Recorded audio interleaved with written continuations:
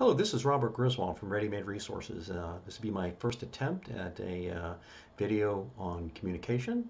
I uh, hope you bear with me if I make a few mistakes. I plan on doing more of these and having had a lot of experience with ham radio uh, is a subject that people often overlook because they fear the technical curve of it but it is a subject that if you ignore i think in a situation where the rule of law breaks down or we just have a general financial collapse or a catastrophe of any sort, you're going to find yourself woefully lacking in that ability. Communication allows us to talk with those in emergencies that normally we could not because maybe the cell phone system has gone down, maybe the landlines have gone down. This happened recently in uh, Tennessee with the fires we had. The cell phone service ended, it did not work because of the fires. The landlines went down, so people couldn't talk with one another. And as a result, people were worried about their loved ones. They could not talk to them, they could not find out if they were okay. Uh, and it's happened in quite a few other natural disasters, in natural and man-made disasters in the United States. During 9/11, uh, ham radio was widely used to uh, give information about those who had survived the collapse of the Twin Towers. Um, during after hurricanes, ham radio is, is used to uh, convey information. Even on an international scale, when there's an earthquake, say in Pakistan, uh, people in this country that may be from Pakistani origin don't know if their loved ones back in Pakistan are okay. In using uh, amateur radio, we can talk back and forth when other systems may be down over there, cell phone system might not work or whatever, and we can uh, receive that information and then pass it on to authorities, which then can inform family members here that uh, their loved ones back where the natural disaster happened are okay. Uh, so again, if you ignore your ability to have communication during an emergency or during what we call TEOTWAWKI or grid down law, rule of law, um, I think you have a fatal flaw in your preparations. So let's take a few minutes and discuss uh, the types of communication that people do use. One would be a, uh, CB radio. Now, I generally do not recommend CB radios. It's uh, basically it's what I would call a uh, redneck radio. Uh, you're going to find a lot of people on there, and there'll be a lot of trash talk on there, so a lot more vulgarity. Uh, but the one thing that CB radio does afford people, if you keep one in your car, a lot of truckers still use CB radio and that it gives you the ability to listen. So if there's a roadblock or a checkpoint or a traffic stop or an accident or even radar, you can hear that on CB radio. So if you're listening and hear that on CB radio, it gives you the ability maybe to avoid what I call the vertical parking lot. That is when you have a congestion on the interstate and you're stuck in traffic for however long, hours, potentially hours, or in a breakdown of the rule of law or an EMP event, you could be stuck in that traffic a very, very long time and have to abandon and then go. So um, with that, ham radio, I mean, uh, CB radio is a good method of listening and gaining intelligence. The other type of communication a lot of people use when we'll be look at these, these are just standard radios that you pick up at a sporting goods store. We sell these, they're Midland radios. Now they have some distinct disadvantages. Radio works on what we call line of sight. That means this antenna has to see another antenna uh, in order to communicate. Hills, buildings, trees, even the curvature of the earth affect this radio's ability to communicate. Uh, on the package, you might read 36 miles. Under maybe ideal circumstances, if you were on top of a mountain and you were looking down into a valley you might be able to talk that distance with ease. But at 17 miles, you have completely gone over the curvature of the Earth. And so this radio in North Dakota, which is pretty flat, would not work. You would go over the horizon and it would not work. The other uh, disadvantage of this radio, it has a fixed antenna. You cannot take this antenna off and change it. So this short antenna gives you a minimum amount of gain and the ability to receive. So again, you're going to find yourself, um, if this is the only form of communication you have, probably restricted to about a half a mile. Another disadvantage of these type radios are that everybody owns them you're going to have lots of people trying to use these frequencies in this radio and possibly you cannot reach out because the, the, the, the, the frequency band is congested with everybody using them.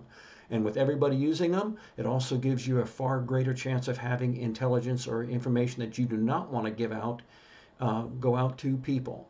Um, and being that it's a short distance radio, uh, direction finding can be pretty easy with it. It also has advantage of not being able to put a big footprint out to where people can direction find you with them. But so I would recommend this radio if you had a homestead or if you were out short distances, this radio would work fine for those conditions. Uh, I generally uh, would recommend it, uh, not recommend it for any type of or rule of law or EMP event because, again, of its limited distance to transmit. Don't pay attention to what the box says. If you own some of these, just go out and try and see if you can get past maybe one and a half a mile. Probably don't think you'll be able to do it. There are other types of radios, marine and aircraft and such forth, but you're pretty limited on the people that will have those. Uh, and then we come to uh, ham radio. Um, this is the one I recommend. It's the Anytone Terminator. Uh, nice thing about uh, ham radio is the fact that uh, we, first of all, can change this antenna out. So I can take that antenna off and do several things. I'll show you here. I can put a larger antenna on. This antenna is about twice the length, so it will give me about twice the gain uh, than, than that radio there. This is an aftermarket antenna that easily attaches, and so with that, you then uh, increase your ability to transmit and to receive. Uh, if you really want to go nice, forgive me for moving around here, this right here is a directional Yagi antenna. Um, nice thing about this is several things. I can hook it to my Anytone radio via this cable.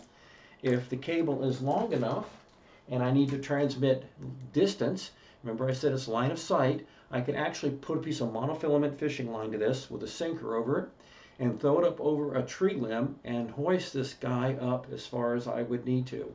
And with line of sight, that all of a sudden gives me far, far greater distance uh, and the ability to transmit and to receive. And being a Yagi antenna, you'll notice the elements. The back ones are larger than the front ones um, it would give me direction finding capability so that if I'm listening to somebody and I start turning the antenna, forgive me for the orientation, uh, start turning the antenna, the stronger the signal is the direction it's being transmitted from. So I know if I have my strongest signal pointing this direction, that somebody is in that direction pointing um, uh, transmitting. The other thing is being a directional antenna, most of the energy will go out that direction, so I will get greater distance than an antenna such as this, which is omnidirectional, means that the energy is transmitting 360 degrees. Uh, bad thing about that is it limits the distance it'll transmit. And if I know there are people back behind me that I do not want to hear, I can point this antenna in the direction that I want those to hear me. And so all the energy will be basically going forward. It gives me greater distance and it gives me greater selectivity as far as who can listen to my signal. This is, antenna is made by Elk. It's a military grade an, uh, antenna. I carry one in my car with me at Ready Made Resources. We do sell these antennas. They do, excuse me, put it down here. They do collapse down into, I don't know if you can see through the bag, uh, something that you can put into this and carry it with you. It's easy to hook to your backpack if you're bugging home. I carry this in my car with me everywhere. It fits right inside of there. And um, the elements are color coded. So you put the white element with the white element band, the yellow with the yellow, the um, black with the black, and the green with the green. So uh, this antenna right here is um, what I would recommend if you're serious about communication, if you're serious about thinking you'll have to go mobile with your communication, this is what I would recommend getting. It's uh, sub $200 and I think it is well, well worth it. Um, you can, as you can see here, you can buy these cables. Uh, mine, I have is 30 feet long. It gives me the ability to hoist this up 30 feet into the air. And again, being line of sight, I get far greater distance and my ability to transmit. So if I'm uh, having to bug home, or bug out. Uh, say if I was in uh, Knoxville and I had to get home because of an event where the you know car didn't work or something had happened, I can communicate back home with that radio at 30 feet up in the air uh, from a far greater distance than if I was just using the antenna that came with it, thereby being able to communicate with my family and let them know that I'm okay and I'm on my way home. Um, some other benefits of ham radio Uh, whereas every radio does work on line of sight, like this, so you get that half a mile. Uh, ham radio has the ability to use what are called repeaters. A repeater is nothing more than a retransmitter that's generally up in the air quite far. Sometimes they're mounted to radio towers, a couple hundred feet in the air. And what a repeater does is it takes my signal that I put into it, I tie into a repeater. Uh, the repeater around here is 145 to uh, 145250 megahertz at 5 watts, and then it retransmits that signal out from a couple hundred feet in the air um, at much higher power, 500 or 1,000 watts. So that effectively gives me the, the ability to maybe transmit up to 100 miles. Uh, pretty nice. So, and the nice thing about repeaters, there's thousands of them all over the country. Uh, a lot of them, most of them are battery backed up. So if the grid goes down, you still have the ability to use that repeater for quite a while. Uh, maybe even some of them are even solar backed up, so they'd be up for quite a while. Uh, this is a repeater handbook. This lists every repeater in the United States and the frequency that that repeater uses. So you have the ability, if you're 50, 60 miles away from home uh, with ham radio, to be able to tie into a repeater and then communicate back to your family. Um, and if they know how to use the repeater in their area, they can then communicate back to you. So um, this is something I would strongly recommend. It's why I recommend ham radio. Ham radio is the only open source of communication left to the average American. Cell phone system can be taken down. Uh, the landlines can be taken down. Uh, as we said, the, the radios you buy at the sporting goods store have very limited use. But with ham radio, you still have an ability to communicate under almost any circumstance and do that effectively. So um, I, I, again, I strongly recommend this uh, ham radio and getting your ham radio license. It's not a very difficult thing to get. Um, my son, who was 11 years old at the time, he became the youngest ham radio operator in our county. His call sign is Kilo Mike 4 Juliet Juliet Hotel. Mine is Kilo Mike 4 India Echo Quebec. So it's not a hard thing. Uh, we actually sell a course, but you can go to a, a website called Ham Radio License Exam Online, and for $25, you can take the technician's license. Now, technician's license gives you the ability to use these UHF, VHF frequencies that are in here. This radio, by the way, will also pick up NOAA, so you can listen to weather, which is very important if you're trying to gather intel.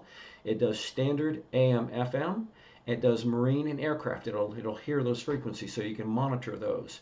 Um, again, radios are a great source for intel gathering. Let other people give away their information, talk about their supplies. I have actually heard people talking about how much food they have, what kind of guns they have eh, on radio, which I cannot believe people would do that, but they do. Uh, one other thing that I recommend is some pre-planning with your radios. I'll show you this. This is a spreadsheet done on Microsoft Excel, if you can see it. You can see the A, B, C, D, E, F, G across the top, and then uh, 1, 2, 3, 4, 5, 6, 7, so forth down. Um, and what this is, is in between I have put all these frequencies. So if I want to switch frequencies because I think someone might be listening to me, instead of saying going to 148025, I would say go to Delta 10. Then people, anybody else who had my proprietary sheet here could go and look what Delta 10 is, or Zulu 5, or Sierra 6, or whatever it is, and then go to that frequency so that you're not giving away that intelligence of what frequency you're going to hop over to. Uh, very, very important. Uh, another thing I do, and those with me do, is we have calendars that we have synchronized, um, paper calendars. We go and get a paper calendar, and on every day of the week, we have what are called offset codes. So that if I said, uh, I will meet you at 1400 hours on, you know, December 6th, someone would look at that and say, okay, for the, that date of December 6th, um, you know, there's an offset means it's really not December 6th. It would be maybe two days plus, two days minus, a day minus, a day plus.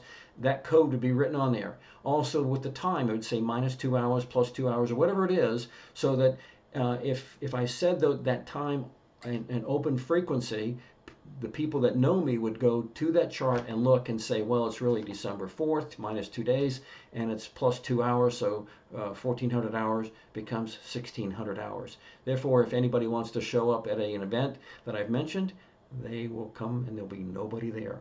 Uh, another thing I uh, strongly put on that calendar are what I call approach codes. So if I got on the radio and I never and never use your real name, give everybody a handle, and let's just say for the time being that I was uh, Under Armour Black Shirt Man or whatever, I would say I'm Under Armour Man and um, calling whoever would be at the thing, and I would use their, their, their handle, and I would say I'm approaching. And that person would then ask me for an approach code. And that approach code can be anything a fish, an animal, whatever, whatever it is for that day. And I would have to say, let's just say the approach code was dolphin. I would have to say, uh, this is uh, Under Armour Black Shirt Man. Uh, approach code is dolphin. And then they would know it's me because sometimes radio communication can jarble uh, your uh, ability to hear correctly. The other thing I strongly recommend, you see it around my neck, is I do not like transmitting in open air just by pushing this and talking because what comes out here, depending how loud it is, a lot of people can hear. I would plug this radio into this microphone.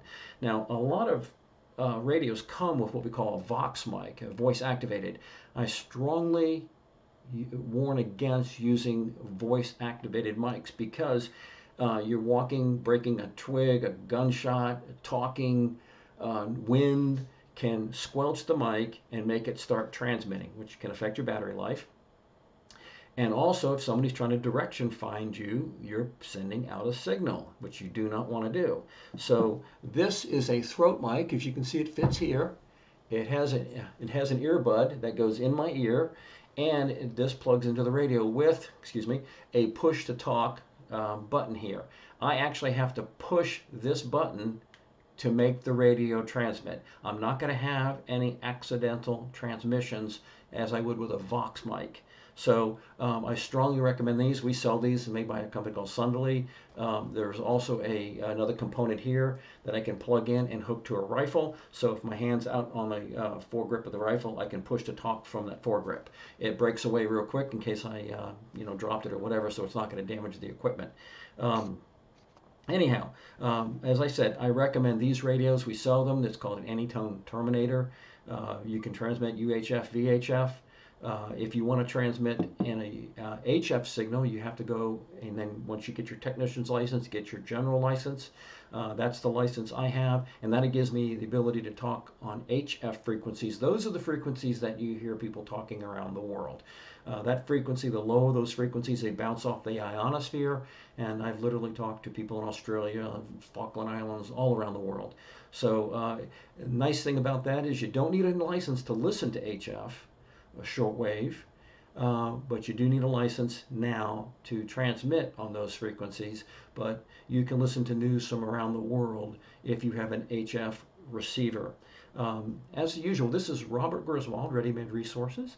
Uh, my phone number at our store is 800 627 3809. I have an extensive um, knowledge of using uh, radio equipment. So if you have any questions, uh, please feel free to give me a call.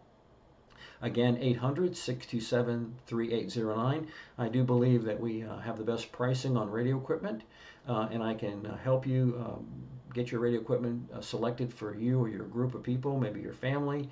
And uh, again, our website is uh, Ready Made Resources, all one word, readymaderesources.com. Uh, been in business 22 years.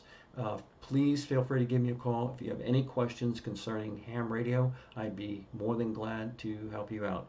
Uh, this is uh, Robert Griswold, Ready Made Resources, hoping you enjoy this video.